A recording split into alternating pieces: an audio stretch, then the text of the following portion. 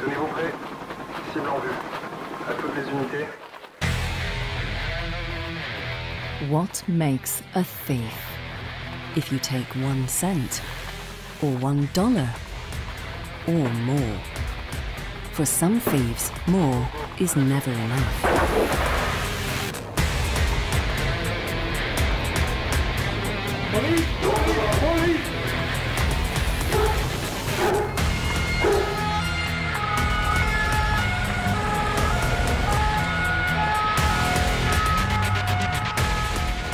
This is the story of one of the biggest bank frauds in history and the man behind it.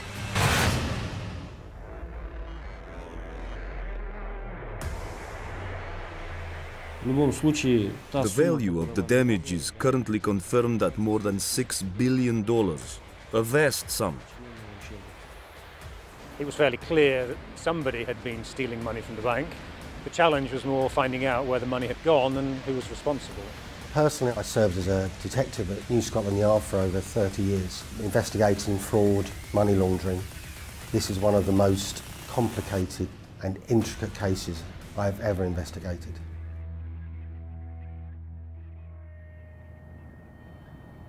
The BTA Bank was established in 1925 when Kazakhstan was part of the fledgling USSR.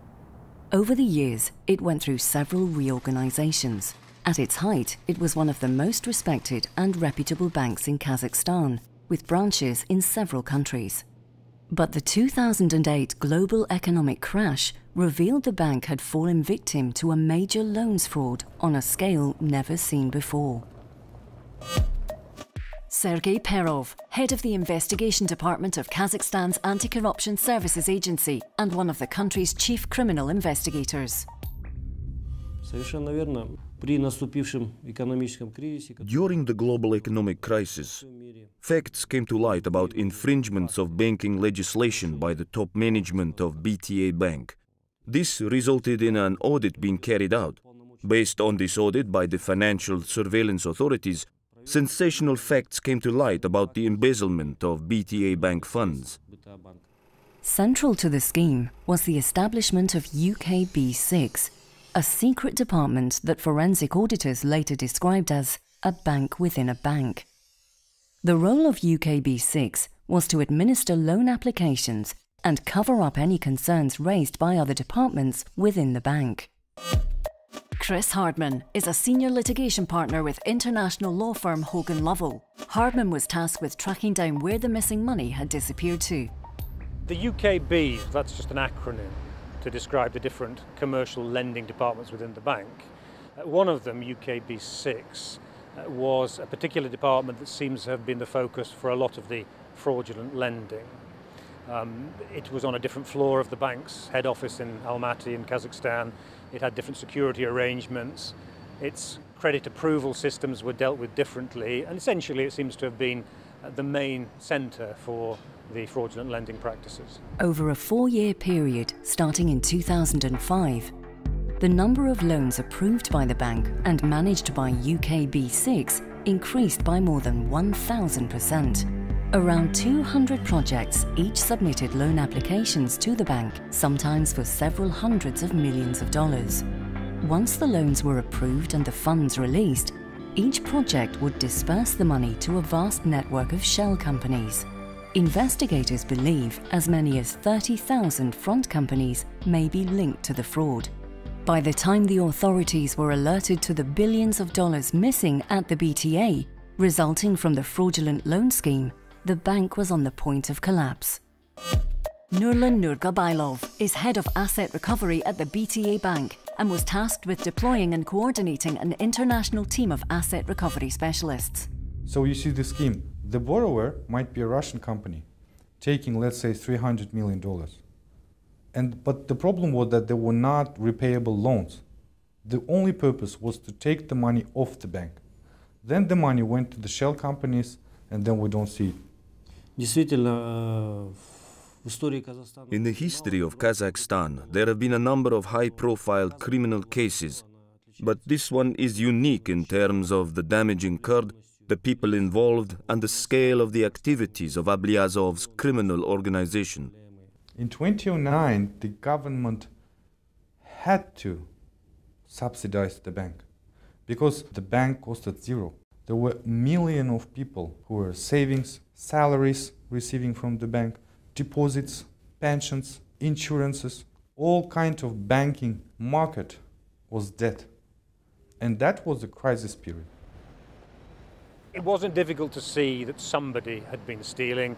We obviously had an open mind when we first started looking, but I'd say within in a matter of weeks there was no doubt that these loans were never going to be repaid, at least without somebody pursuing those ultimately responsible, uh, and that proved to be quite a challenge.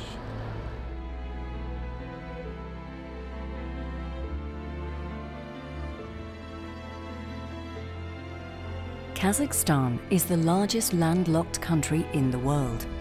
The last republic to declare independence from the Soviet Union following the collapse of communism in 1991, the country now has the strongest performing economy in Central Asia.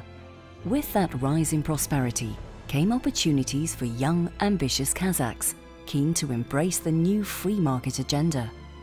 One of those came from a small, rural village in the south of the country, Mukhtar Ablyazov.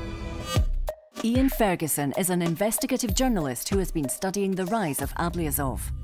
Ablyazov's educational life started where he studied uh, in Kazakhstan theoretical nuclear physics. He finished off his university education in Moscow and came back to Kazakhstan and started trading in pasta, salt, cars, and dabbled in some banking. And the president of the country appointed him head of the state electricity board. And this would probably be his first brush with the law because he was questioned about abuse of uh, power or abuse of function, as they call it, but then was appointed Minister for Energy. He claims that when he refused to rejoin the government in 1999, he was in the job for almost two years, and he maintains that the government framed him and he was sentenced to six years. After less than a year, he applied for a pardon and the president gave him a pardon. After his release, Ablyazov returned to Moscow to pursue his business interests. But then in 2005, he was appointed chairman of the BTA Bank and returned to Kazakhstan. The bank appeared to flourish under Ablyazov's leadership, and then the global economy went into meltdown and regulators discovered a massive multi-billion dollar hole in BTA's balance sheets. Without offering an explanation, he fled to the UK and successfully claimed political asylum. Up, raise your bet, lay it all on the line. I'll be worth every dime. I tell you, put your money on me. So how did Ablyazov manage to carry out a theft of this scale and complexity? that investigators believe amounts to at least $6 billion, but could be much more. My knowledge is that there existed the organized criminal group headed by Mr. Ablyazov. The idea was to provide very big loans amounting to hundreds of millions to the companies in Russia, Georgia, Kazakhstan, the post-CIS countries, even abroad. But those companies were actually totally under control of Mr. Ablyazov or his affiliates. He's been very clever to keep mostly the close associates are all family members, either sister, son-in-law, Ilyas Krapunov, Ilyas Krapunov, Ablyazov's son-in-law, who investigators believe is responsible for maintaining and overseeing the assets today, moving them from country to country and always trying to stay one step ahead of asset recovery teams. This organised criminal gang, as the Kazakh authorities have described them, contain people who are now got refugee status in the Czech Republic. There's his former bodyguard, who was also wanted for an explosion, uh, an IED going off, is got political asylum in Spain. But the Krapunovs and his sister in the United States are a key role in this, and he's involved all of his family in the dispersal of funds. And they're all living a pretty high life. But he's made them accomplices to a major crime, and eventually, if they're all extradited or arrested, they will spend a great deal of time in prison. Sadukas Mamstegi, former deputy chairman of the management board at the BTA Bank. Mamstegi worked closely with Ablyazov and has consistently denied he knew there was fraud taking place. But the former BTA executive is facing additional charges for his alleged role in the scheme. As I said, during my time at the bank, no embezzlement took place, just unlawful use of bank funds by increasing the bank's market capitalization. In other words, the money always went back into the bank. Now I have stopped working there. I can't say for sure how much was embezzled, but mostly it was what we call pumping up the bank's market capitalization. In other words, issuing loans which are then reintroduced back into the bank. The Kazakh authorities were now facing an unprecedented financial criminal investigation. Such was the scale and complexity of the unfolding fraud that new investigative teams had to be established and the evidence quickly mounted. A huge number of investigators were involved. Several investigation squads were set up because there were so many different strands to the activity of Ablyazov's criminal group. So a different investigation squad was set up for each of these strands. Dozens of investigators were involved. There are over 2,000 volumes of case files, including witness statements and other findings. Years after investigators began their work, the total value of money taken from the BTA bank is still being assessed. The value of the damage is currently confirmed at more than $6 billion, a vast sum. It is a very difficult task to figure out the exact amount of money that had been embezzled from the bank. But I strongly believe that the amount is very huge and starting from 6 billion, but not less than that. But due to the nature of international finance, the fraud extended well beyond Kazakhstan's borders. Investigators in multiple jurisdictions have now accused Ablyazov and his affiliates of extending their fraudulent loan scheme in Ukraine, Russia, and a host of other countries across the world. It's a very large fraud case. The amount of money that the bank had lost ran to somewhere in excess of $10 billion. Um, it wasn't difficult to see that there had been a fraud. A huge amount of money was missing. There were many loans that had been made to offshore companies with no security. The companies had no ability to repay. The BTA bank is not the only victim. I can recall that the amount of money embezzled from Russia, Moscow municipality, equals to 4.5 billion. We can maybe assume a couple of billions from Ukraine. You plus them, and you receive the unbelievable amount of money, going higher than 10 billion. But how can anyone hide 6, 10, or even 20 billion dollars? Ablyazov claims to have lived relatively modestly, but investigators quickly identified that the former BTA chairman maintained three private planes, 106 cars, 20 luxury villas, nine prime real estate office buildings around the world, and almost 1,000 apartments. But that would still leave him with billions left to hide. So, where did it go? This man is a former police detective who served with the Metropolitan Police for over 30 years, including many years with the Serious Fraud Office. Due to the covert nature of his ongoing work on the case, he asked for his identity to be concealed.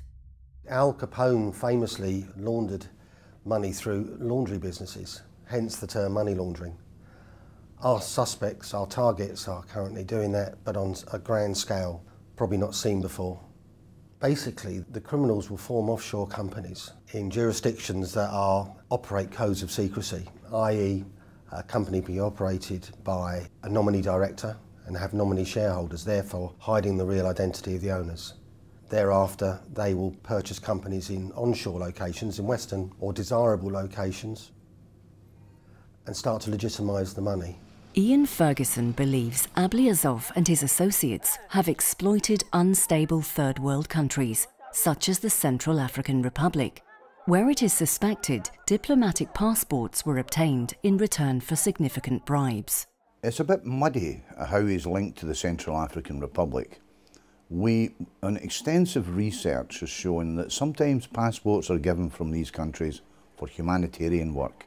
We can find none, and other people more expert in the country can find no humanitarian work carried out by the Krapunovs.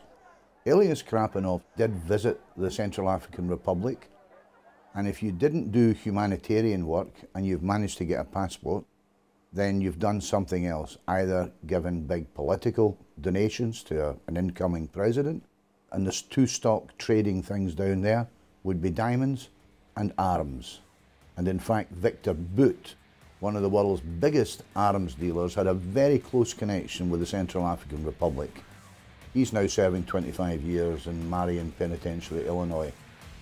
Investigators believe the acquisition of the diplomatic passports by Ilyas Krapunov was designed to give Ablyazov, his family, and affiliates greater freedom to cross borders as they managed the movement of the assets and investments. It's really worldwide. Switzerland, the British Virgin Islands, Panama, Cyprus, Seychelles, Luxembourg, Belize, Mauritius, the United Arab Emirates, to name but a few. Basically, their first priority is to operate in countries where the legislation of that country allows a code of secrecy about the ownerships of companies. So basically, the, the companies are owned by nominee shareholders, operated by nominee directors, to anonymise or, or keep the owners of the company anonymous.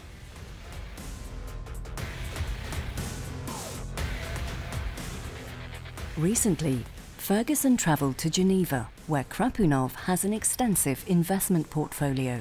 He wanted to find out how Ablyazov's son-in-law was able to obtain Central African Republic diplomatic passports.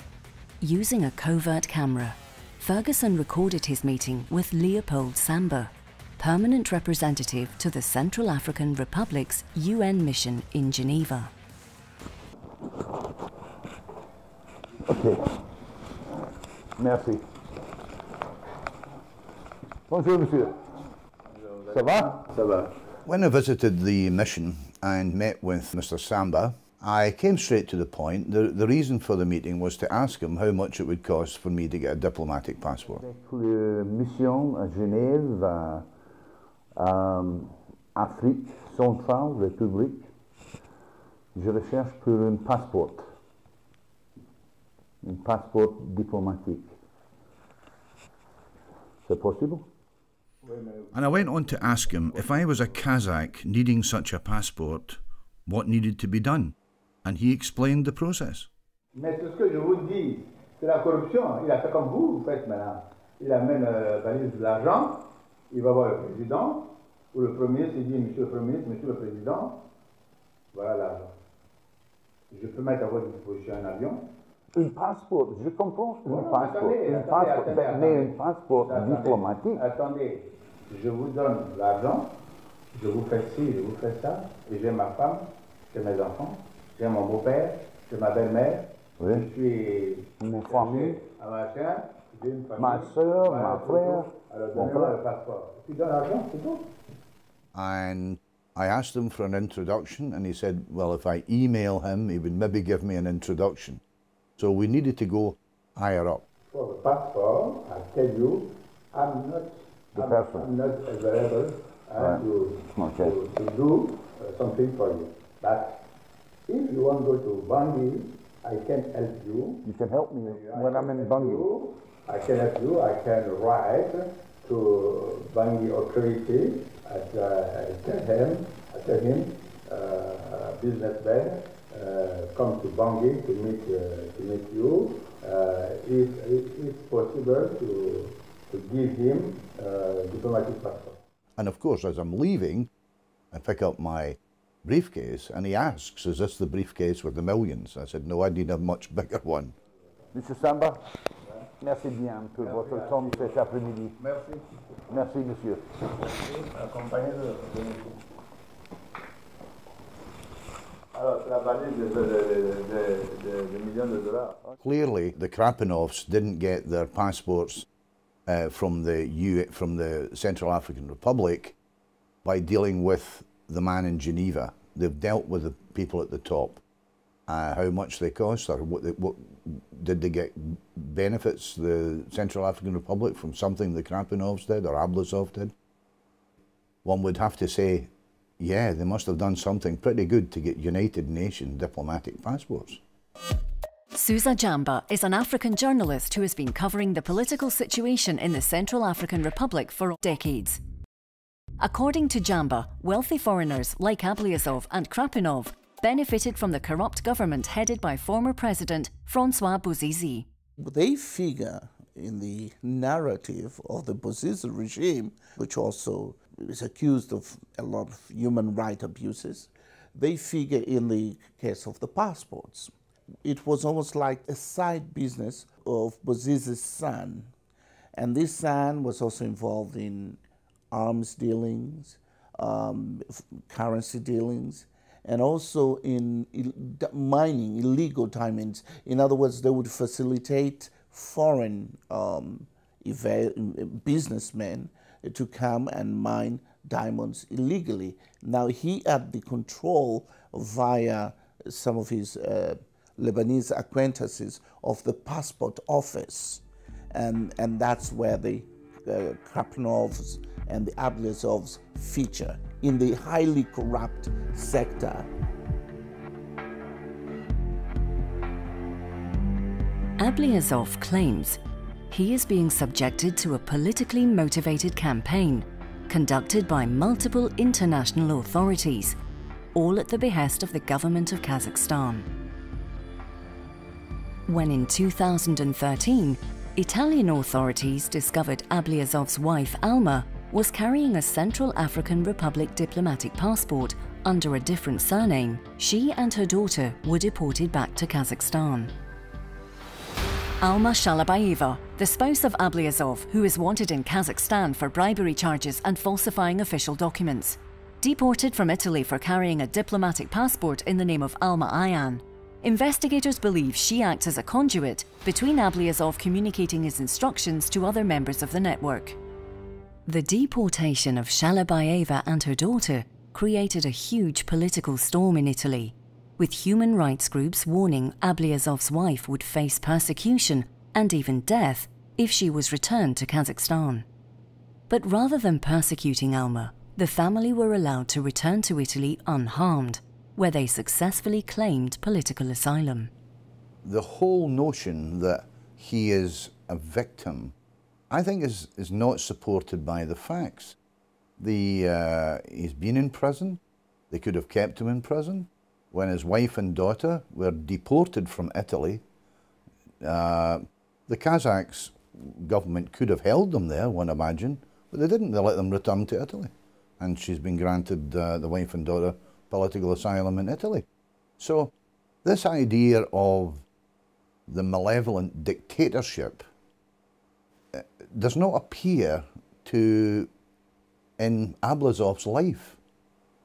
He says he was tortured in prison. But he was released. He was, why, why would they be tortured and then, uh, then appeal for a, a, clemency and a pardon, and the pardon's granted before you've served 12 months of a six-year sentence?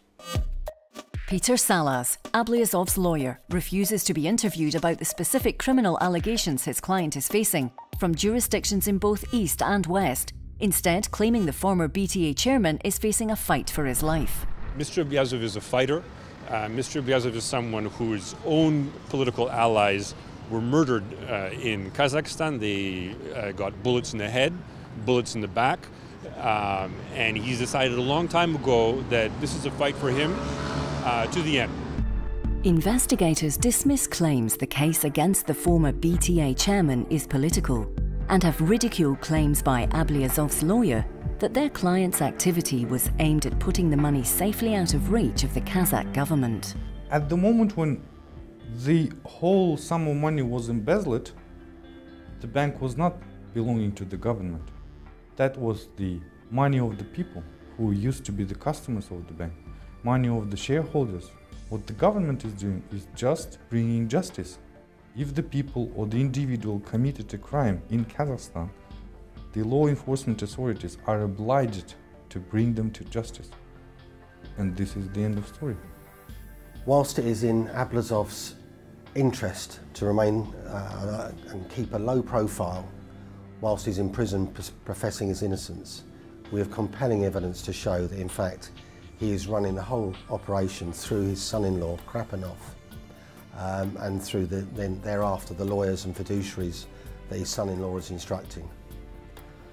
And basically the whole operation is to filter the monies they've stolen from the peoples of Kazakhstan into the Western banking system. As well as issuing non-repayable loans, senior figures at the bank were also involved in another illegal practice meant to artificially inflate BTA's market value. During the criminal investigation, we detected an unfounded increase in the bank's market capitalization.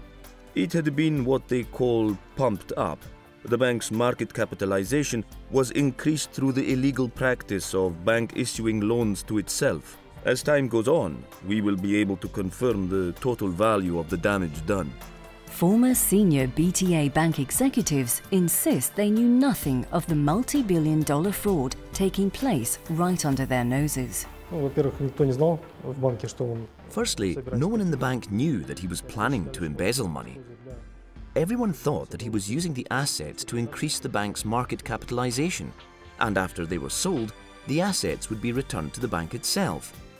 I understood that some bank funds were being used to finance its projects or increase its market capitalization, and of course, everyone understood that a crisis was looming. And I also understood that it would now be impossible to sell the project or the bank at a substantial profit. This pumping up of the bank's value served two purposes. To the outside world, it made it appear as if the bank was prospering under Ablyazov's chairmanship. Internally, many senior bank figures, knowing the rate of loans leaving the bank was unprecedented, could turn a blind eye to the possibility actual embezzlement was taking place and instead the lesser crime of artificially increasing the bank's value.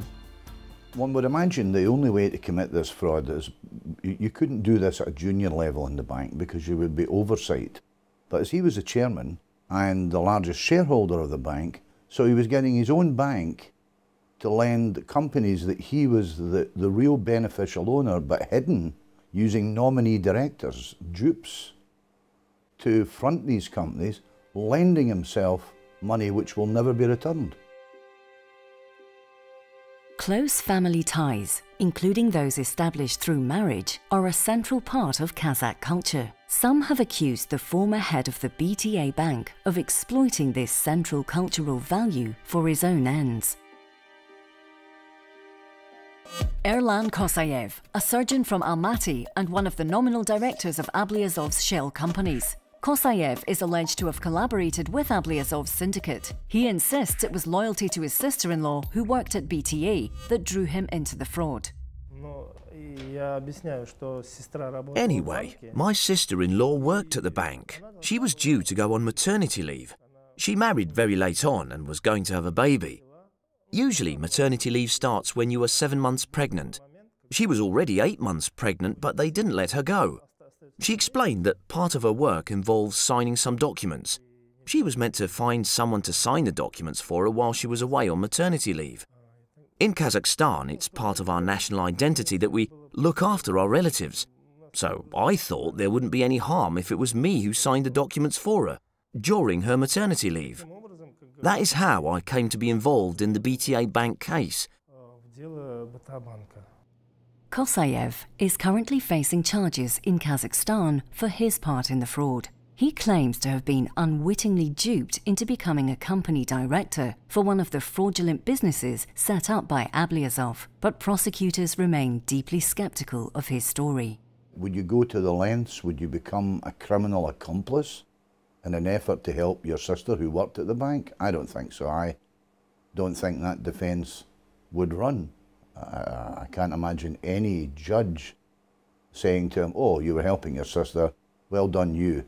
He knew he was doing something illegal. I'm very certain he knew it because this uh, level of naivety, how did he become a consultant surgeon if he's as naive as that? A few months after being appointed as a director, Kosayev was invited to attend a meeting at a cafe in Almaty.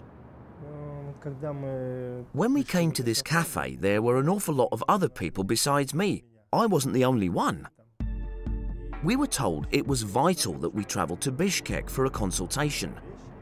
We were told the consultation would last no more than two weeks. We were told to get our things. We were given money then and there to pay for our travel. I think $1,000. And we went and packed, and then everyone went there. Kosayev returned to the cafe with a suitcase and claims he expected the briefing to last no more than two weeks. Muratbek Ketebayev, a close political associate of Ablyazov, told Kosayev he had to travel to Moscow to continue his work as a nominal director of one of the front companies. But Ablyazov also needed people on the inside to approve the loan applications.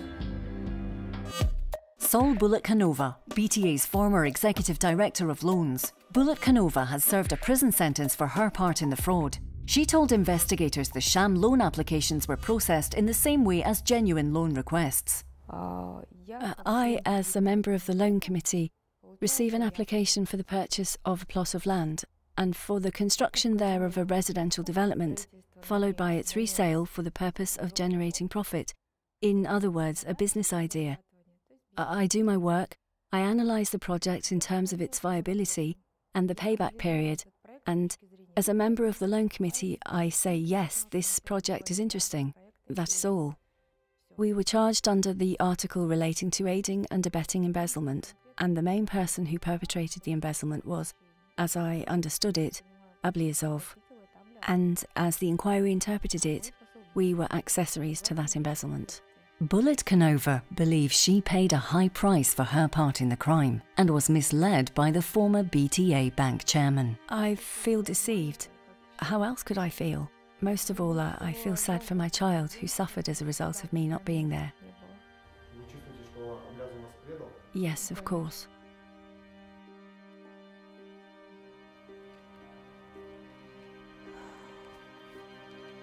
As serious questions began to be raised at BTA, Ablyazov went on the propaganda offensive. He established and funded a number of media companies that proceeded to broadcast his version of events. I wouldn't say I feel hugely negative about the verdict because the accusations are simply nonsensical, not based on anything. The lawyers proved the case far too easily. Now we are going to launch a supervisory appeal. But we understand there is a political motive behind all this. It is senseless, but we want to show the whole world the extent to which our judicial system is rotten and how biased it is. But according to experts in body language and behavior, Ablyazov's performances in these television interviews were less than convincing. Susan Constantine is a behavioral investigator who has worked closely with the US Justice Department and law enforcement agencies and specializes in nonverbal communication. First of all, we had 23 videos. So the main thing for me too is to be able to kind of determine his norm. One video really is not sufficient, but basically looking at several of them, I start to see a pattern. So there are certain things that I'm looking for. One is I'm watching his facial expressions and I'm looking for things that are disconnecting with his voice inflection, um, what he's actually saying. Is there anything in there that seems to contradict? After evaluating all 23 videos, I found a pattern of his behavior. And it was really interesting because there are what we call pockets of anxiety areas where increased gesturing or increased movement that was different from the norm based on the 23 videos that I had seen. So what I noticed specifically when he was asked a question that was creating anxiety because anxiety generally is there's some underlying story there that it could be that he's trying to hold, withhold, trying to conceal, or dis be deceptive. What I found was in the areas of deception, it depended on the interviewer that he was talking with. The person that he had control over, there was a female person that he was talking to, somebody that was investigating him or interviewing him, and he felt that he had control over them. He seemed very still. That actually is a sign of deceptive behavior because if they normally talk with their hand gestures, the change would be they're very still and they're very frozen in space. So that there were many times where he didn't gesture at all, his face was very flat and affect. So what he was doing was concealing his true emotions because everything that you think or feel is going to be exhibited through your nonverbal communication. BTA investigators believe Ablyazov hoped to deflect attention away from his fraudulent activity by politically attacking his homeland. Driving this media strategy was Ablyazov's head of security, Alexander Pavlov. Pavlov is wanted in Kazakhstan accused of carrying out terrorist offences in the country, and despite securing political asylum in Spain, remains on Interpol's wanted list. For myself, being a, I was born in Kazakhstan, I grew up over there, my family lives there, and for Mr. Ablyazov that was the same at some point. For me, that was really strange why the man who was born, grew up, made his fortune in a country, tell for the whole world so much bad thing about his motherland that are not true. I see the only goal is just to discreditize the current government, the president, and he failed. But propaganda alone could not disguise the scale of Ablyazov's activity and sensing the net was closing in, the tycoon fled to the UK and claimed political asylum. Initially, authorities believed his story. But when legal proceedings began in the British courts to identify and recover Ablyazov's assets, serious questions began to be raised over the nature and scale of his wealth. Ignoring numerous court judgments ordering him to disclose the full details of his fortune, Ablyazov was eventually found guilty of contempt of court and sentenced to almost two years imprisonment. The conclusions of some of Britain's leading judges was damning. Mr. Ablyazov no longer maintains even a pretense, as he once did, of being willing to abide by the orders of the court. Mr. Ablyazov is a persistent and serial contemnor. Mr. Ablyazov's contempts have been multiple, persistent and protracted, have embraced the offences of non-disclosure, lying in cross-examination and dealing with assets and have been supported by the suborning of false testimony and the forging of documents. It is difficult to imagine a party to commercial litigation who has acted with more cynicism, opportunism and deviousness towards court orders than Mr. Ablyazov.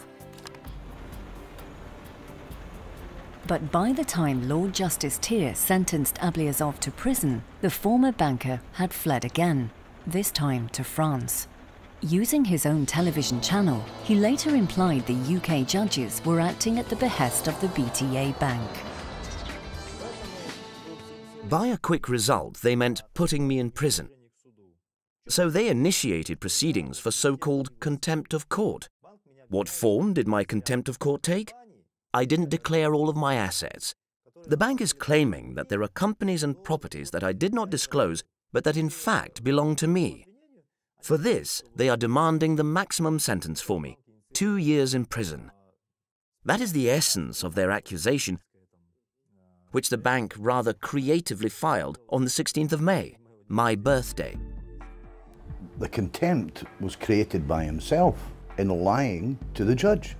And I don't believe for a moment that the Kazakhstan government, in whatever shape or form, has any influence over the High Court in London. I think it's preposterous to suggest that. But this is part of I'm the victim. The Kazakhs are wrong, the Russians are wrong, Ukrainians are wrong. He stated in a letter he thinks the world of the British justice except when it comes to actually accepting the sentence handed down. All the legal stuff is happening in United Kingdom. We have the big judgment in Switzerland, in the States, in France. So it's not the Kazakh court or Kazakh prosecutors who are blaming Mr. Ablyazov or who are saying that he's a fraudster. It was the High Court of Justice, London, clearly stated that this guy is the fraudster. For 18 months, Ablyazov remained on the run in France, evading both state and private investigators. But on the 22nd of July 2013, at the High Court in London, investigators finally made a breakthrough. Olena Tushenko, the glamorous Ukrainian lawyer who played a pivotal legal role in creating the shell companies Ablyazov would use to hide the money. Tushenko was also alleged to have drawn up false contracts for the project applications to the bank and applied for government approvals. Crucially, she created the relevant corporate structures and appointed the nominal directors and key people needed to cover up the fraud. Yelena Tushenko is another colourful character in all this. A stunning blonde who advised Ablazov. Um, the Russians believe she advised Ablazov on how to hide his money and how to set up companies. She's a lawyer. She was followed when she left the High Court to go and visit Ablazov in the south of France. She was followed by security teams who were surveilling her on behalf of the bank the BTA Bank. They followed her to uh, the villa in uh, the south of France. They noticed that Ablazov was there and the Ukrainian authorities, because he was arrested on a Ukrainian warrant, informed the French police and there was a massive operation to swoop him up. They also believed that he may have armed security with him, so the French police went in very, very heavy. And uh, but no one was injured. He didn't have a massive security operation. As police entered the property, they found Ablyazov sitting at his computer. In another part of the secluded luxury villa was his sister, Galka. Gaukhar Ablyazova, the oligarch's sister who was granted political asylum in the US in 2004. Ablyazov has routinely made payments to his sister, some in excess of a million dollars, which the former BTA chairman describes as gifts. She told investigators she is regularly in contact with her brother by phone. Under heavy armed guard and with a police helicopter overhead, Ablyazov was finally taken into custody.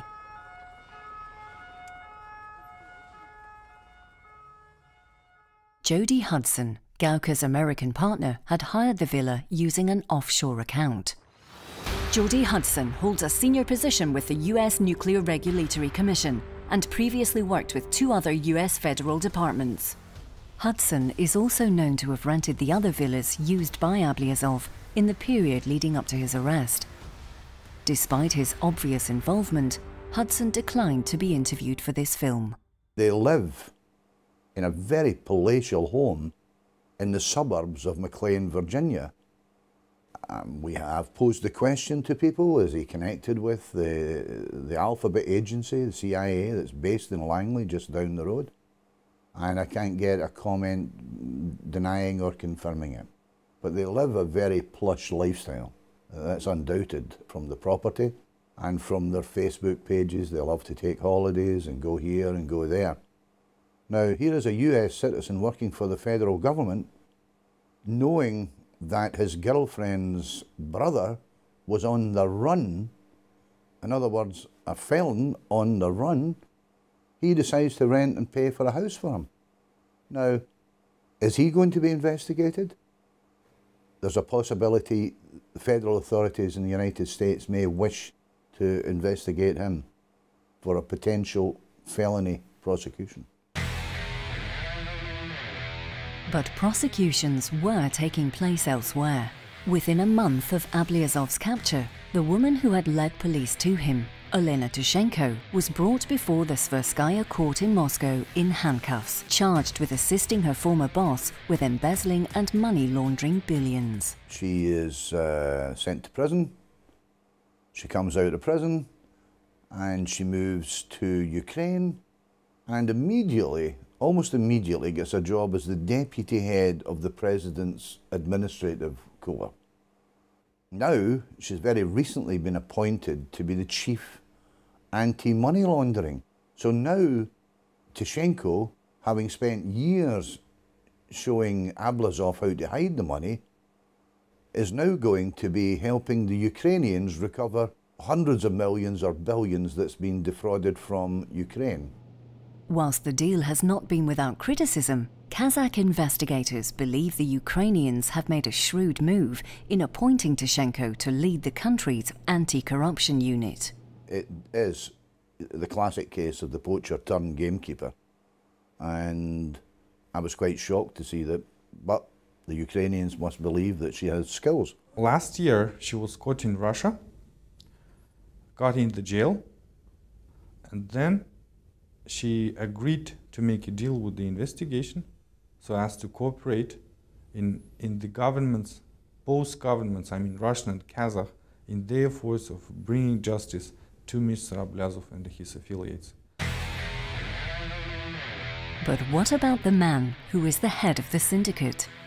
France has no extradition treaty with Kazakhstan, but both Russia and Ukraine have actively sought to bring Ablyazov to trial in their countries, where investigators believe billions more have been embezzled by the organized criminal gang. At his court appearances, Ablyazov's closest family members, including his parents, wife and sister, along with Jody Hudson, have all attended court to support the former BTA chairman. Once again, Ablyazov's lawyers ignore the mountain of evidence against their client, relying instead on unfounded allegations that he would eventually be sent to Kazakhstan to face torture and death. Since in reality this concerns the conditions of the arrest of Mukhtar Ablyazov, which are particularly scandalous, notably because the arrest was at the request of the Ukrainian authorities, since it is with this arrest warrant that Mukhtar Ablyazov was not only detained, but in extremely ambiguous and violent conditions, and therefore, of course, we are asking the court to set up an inquiry to look into the conditions of his arrest and thus the subsequent procedure. Now it's up to the government. The government has to uh, make a decision. It has to decide whether or not it will issue a decree to extradite Mr. Ablyazov. I find it uh, uh, unbelievable, Im- unimaginable that the French government would send a political opponent, a dissident, to a country where dissidents get murdered in the street. The Conseil d'Etat will look at the entire case and it will look at the political nature of the case. This is a fundamentally political case. Uh, and the Conseil d'Etat will look at that. And after the Conseil d'Etat, there's also the European Court of Human Rights that can issue an injunction to stop his extradition. So, in terms of uh, uh, legal road, there's still quite a lot of uh, road to travel ahead for Mr. Ablyazov. But those who have studied the case believe the only political objectives are those of Ablyazov himself. Has he uh, an enormous ego, uh, a need to be a president? Does he want to be the president of Kazakhstan? I, I don't know. He has made a fortune before the bank. He was a very wealthy man before he took over at the bank from, from a country that he has very little regard for. For others, especially for many Kazakhs, they believe Ablyazov has not only damaged the country economically, but also undermined Kazakhstan's global reputation, and in doing so, placed his entire family at risk of imprisonment for their part in his crime. How dare you to act in such a bad manner against your country, against your own people, against the citizens of Kazakhstan and its public policy? In Kazakhstan, I think every man who wants or makes a fortune, he might have some problems at some stage. But being a man, my view is that when you face those problems, you must draw a clear line between yourself and your family. If he will be sent to Russia or Ukraine, we will never see him again, and my, my children will never meet him. And from my personal point of view, this is the most mistake of Mr. Ablyazov. His idea is to trust just the family members, but this trust might be in a form of providing a power of attorney, of creating a big corporate structure, which would be just a money laundering technique for his sister, for his sister husband, for his own son-in-law, or even daughter.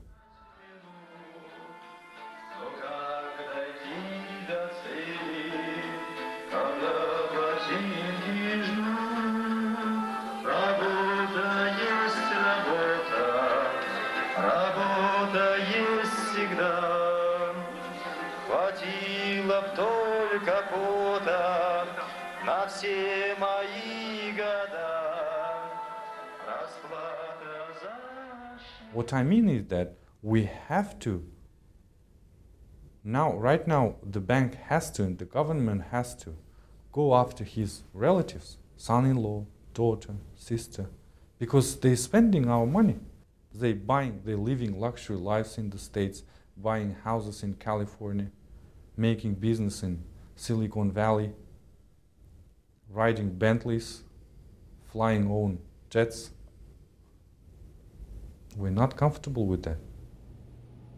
Today, Ablyazov is being held in detention in the notorious French prison of Fleury-Mérogis, just south of Paris, playing chess with himself and pondering his future.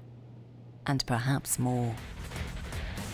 Ablyazov always wanted more, and those who have tracked his movements believe the theft he committed during his time at the BTA continues as the former tycoon directs operations from his prison cell. I assume he's allowed to have a meetings being in a prison with his relatives, wife, daughter, son-in-law, and uh, maybe I assume he provides some instructions while those short meetings to the counterparties who does the business for him worldwide.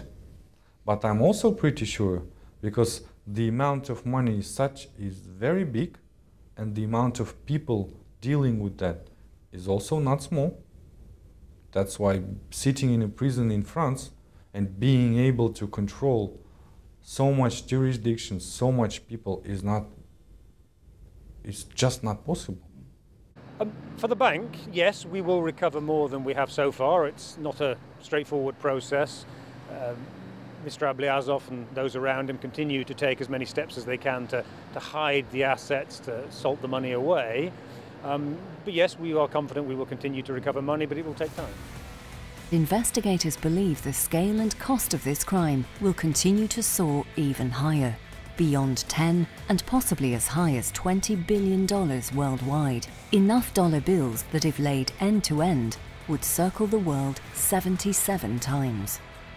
All the time, the net continues to close. Uh, I'm aware that a good number of people who were involved with Mr. Ablyazov has been um, prosecuted and some have served prison time. Uh, Mr. Ablyazov is the subject of a, uh, at least two extradition requests from where he's currently held in France to Russia and to the Ukraine, and it seems that he may have to face justice for at least some of what he's done. Curiously, the UK authorities, which sentenced Ablyazov to 22 months, have not sought his extradition from France, something that former officers at the Serious Fraud Office have found surprising. I am surprised, however, I can understand it because the resources required would be tremendous. Because not only do you investigate the UK aspect, then you, you then have to investigate the aspect of wherever that money has come in from. So, for instance, although a, straightforward money laundering investigation in, in the UK would be able to be conducted, you would also have to conduct the investigation in Switzerland, BVI, Panama, Cyprus, over to Kazakhstan for the original source of the money, etc. It is a tremendous amount of resource that I don't think they have the capability to provide. The SFO deny lack of resources are an obstacle to pursuing Ablyazov, but can't explain why the UK is not actively seeking the tycoon's extradition. The billions of dollars Ablyazov and his associates stole from the BTA Bank has allowed them to enjoy the most luxurious sights and sounds that money can buy. But as investigators close in, there is one sound Ablyazov's syndicate will need to get used to.